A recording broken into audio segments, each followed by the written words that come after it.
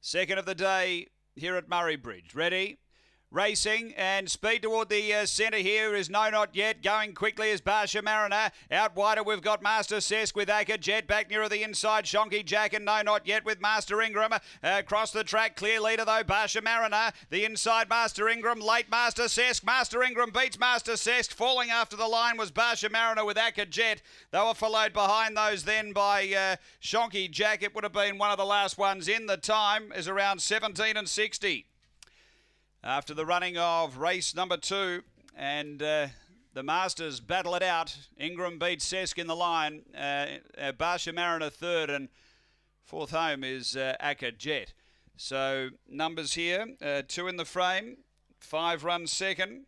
Uh, third home is number eight and uh, fourth we stand by, confirmed as number seven.